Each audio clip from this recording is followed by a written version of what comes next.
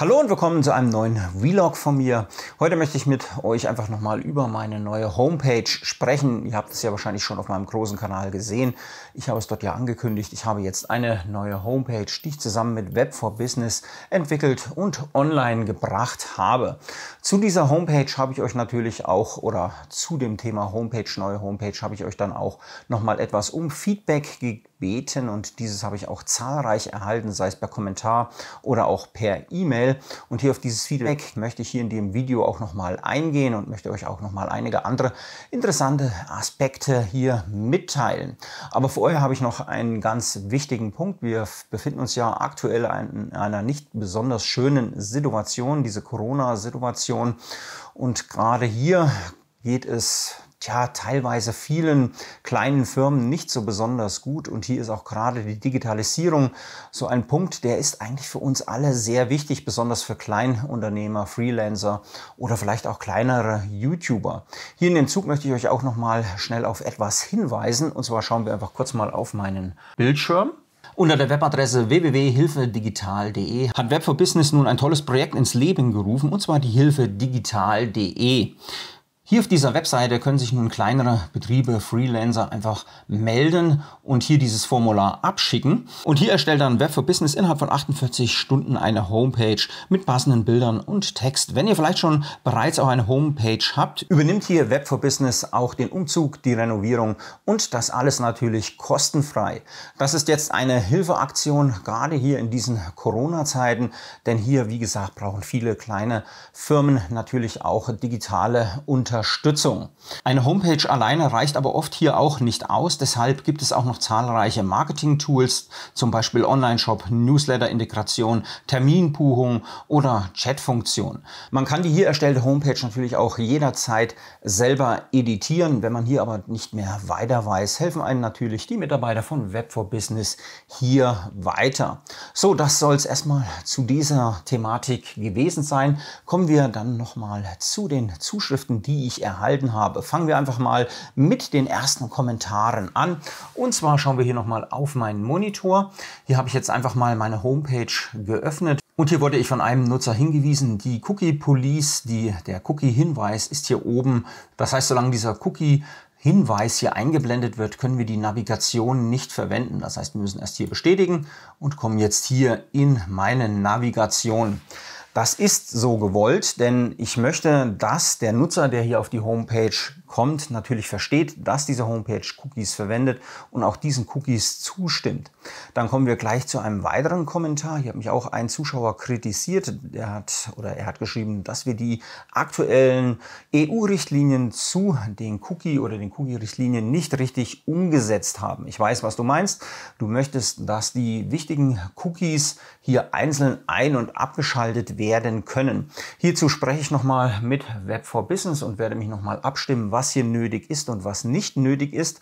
Wir haben uns aber erstmal dazu entschieden, einen Präzedenzfall abzuwarten. Denn diese aktuelle Situation oder diese aktuelle Vorgabe der EU, wie das hier umzusetzen ist, ist eigentlich noch nicht so richtig in der Rechtsprechung in Deutschland angekommen. Das heißt, es gibt hierzu noch keine aktuellen richtigen Abmahnfälle und man weiß eigentlich so noch gar nicht so richtig, wie man das auf der Webseite umsetzen soll. Es haben schon einige Webseiten jetzt angefangen und fragen euch, wenn ihr auf die Webseite kommt, wollt ihr diese Cookies, wollt ihr die Tracking-Cookies, wollt ihr die Werbe-Cookies einschalten, wollt ihr sie ausschalten.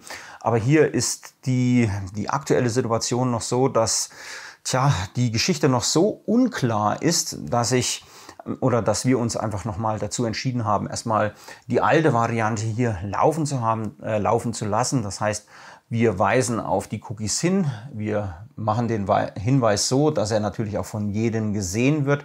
Wir verlinken auf die Cookie-Richtlinien. Das heißt, jeder kann sehen, was für Cookies auf meiner Webseite verwendet werden und kann dann so selber auch entscheiden, ob er sie im Browser einschaltet oder ausschaltet und muss dann dementsprechend natürlich zustimmen, bevor er dann auch hier auf meine Navigationsleiste kommt. Inwieweit wir das nochmal anpassen, hier kann ich euch eventuell auch nochmal auf dem Laufenden halten. Aber wie gesagt, hier warte ich erstmal die aktuelle Rechtsprechung ab, denn hier herrscht im Moment gerade hier im deutschen WWW doch ein einziges Chaos. Jeder setzt irgendwas um, aber so eine richtige Linie existiert einfach noch nicht. Dann kam noch eine, eine weitere Frage oder eine, eine weitere Anmerkung. Marc, du hast ja deine Webseite sehr schön aufgebaut, aber in erster Linie besteht sie ja eigentlich nur noch aus YouTube-Links und einigen kleinen Serviceangeboten. Das heißt, ich zeige hier, welches Equipment ich habe. Ich habe einige Schaubilder, die waren mir persönlich auch sehr wichtig. Das heißt, hier das sind meine Elektroschaubilder. Ich habe ja zu einigen meiner Elektro-Videos einige Skizzen angefertigt und die möchte ich natürlich weiterhin hier auch im Internet zur Verfügung stellen. Weitere Angebote, ich hatte ja damals auf meiner alten Homepage sehr, sehr viele Unterseiten und habe mir hier sehr viel Arbeit gemacht und habe sehr viele Zusatzmaterialien zu meinen Videos angeboten sehr viele weitere erklärende Textinhalte und so weiter und so fort. Hier muss ich aber sagen, habe ich festgestellt, dass das sehr viel Arbeit ist und von sehr, sehr, sehr wenigen meiner Zuschauer genutzt wurde. Das heißt, ich habe mich hier stundenlang hingesetzt, habe hier Texte runtergeschrieben, habe hier Sachen recherchiert, Grafiken hochgeladen und im Endeffekt sind diese Seiten dann effektiv im Monat von 10, vielleicht 20 Personen besucht worden und Feedback habe ich hierzu eigentlich nie erhalten. Deswegen habe ich hier meine Webseite, auch um sie etwas schlanker wirken zu lassen, doch recht stark abgespeckt und nur noch auf das Wesentliche konzentriert oder es konzentriert sich alles nur noch auf das Wesentliche und das ist halt bei mir YouTube. Das heißt, die meisten meiner Angebote laufen über YouTube. Ich habe hier meinen Heimwerker-Kanal. Hier gebe ich meine Heimwerker-Tipps. Ihr könnt mich bei meinen Projekten begleiten und ich äh, fokussiere mich im Moment auch sowieso auf dem Heimwerker-Kanal auf Anleitungen. Das heißt, ich gebe sehr viele Projektanleitungen, sehr viele Installationsanleitungen, Bedienungsanleitungen und das ist auch mein Hauptfokus. Dann haben wir natürlich hier diesen Kanal. Dieser Kanal, wie ihr schon im Namen hört, bezieht sich ja auch überwiegend auf Tests und Tipps und auch vor allen Dingen auf Tipps zu YouTube. Hier haben wir Contributor auch eine eigene Plattform. Das heißt, wir haben hier das YouTube-Hilfeforum und auch noch zahlreiche andere Plattformen, wie zum Beispiel auch die gesammelten YouTube-Hilfe-Videos. Die kann ich euch auch nochmal hier unten verlinken. Und das ist meiner Meinung nach eigentlich schon genug Zusatzmaterial. Wenn ich jetzt hier nochmal eine eigene YouTube-Hilfeseite auf meiner Homepage aufbaue, so macht das eigentlich meiner Meinung nach wenig Sinn, da hier diese Seite dann auch wahrscheinlich von wenigen Nutzern genutzt wird. Mein Hauptfokus liegt ja hier dann dementsprechend auch auf den Videos, also habe ich dann dementsprechend mich auch hierauf beschränkt, dann die Videos zu verlinken, indem man jetzt hier einfach auf Home geht, kann man dann hier mit den dementsprechenden Unterpunkten zu meinen Hauptkanälen kommen und kann dann hier auch nochmal einige Zusatzinformationen bekommen oder man kommt direkt auf meinen Kanal. Das ist eigentlich sowieso das Ziel, was ich mit dieser Homepage verfolge. Wenn ihr hierzu allerdings nochmal Tipps habt oder irgendwelche Anregungen, was fehlt noch auf meiner Homepage, was würdet ihr gerne nochmal auf meiner Homepage sehen, so könnt ihr mir das natürlich mitteilen. Es wäre natürlich sinnvoll, wenn das auch ähm, Projekte sind, die irgendwo umsetzbar sind. Ich kriege immer wieder von einzelnen Usern, Nutzern Anfrage, ob ich nicht mal dies oder das machen könnte. Dann sind aber diese Anfragen teilweise so gestaltet, dass es ein Wahnsinnsaufwand ist, dieses umzusetzen und dann hier einzuprogrammieren. Und dann mache ich das für ein, vielleicht zwei Nutzer, setze mich eine ganze Woche hin, habe hier Arbeit damit. Und hier muss man dann ein bisschen überprüfen oder ein bisschen abwägen, macht es Sinn oder macht es keinen Sinn. Wenn natürlich gute Tipps von euch kommen, die ich eventuell auf meiner Homepage umsetzen kann, die dann auch der großen Masse etwas bringen, so werde ich das eventuell auch umsetzen. Dann habe ich noch einige Fragen zu meinen Webcams erhalten. Wir schauen einfach mal zu meinen Webcams.